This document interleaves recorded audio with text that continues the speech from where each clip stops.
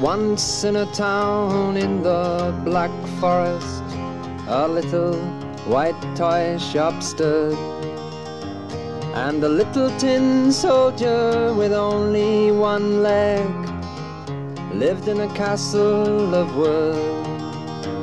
And across the room, on another shelf, stood a little glass case. And a tiny ballerina lived in there, all in a dress of lace. And from where the little tin soldier stood, they could see each other so clear.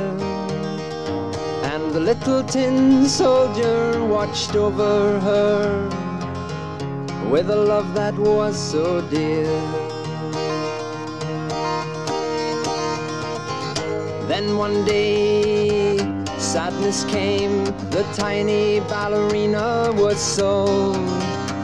The little tin soldier was thrown away, and into the gutter he rolled.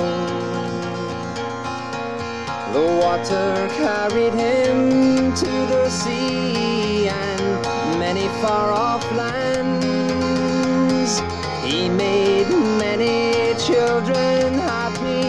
he passed through their tiny hands.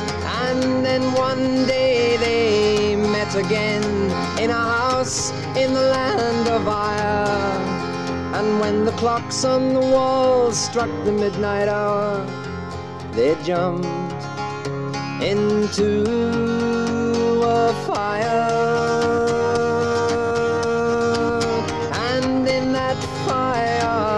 shall stay forever and a day.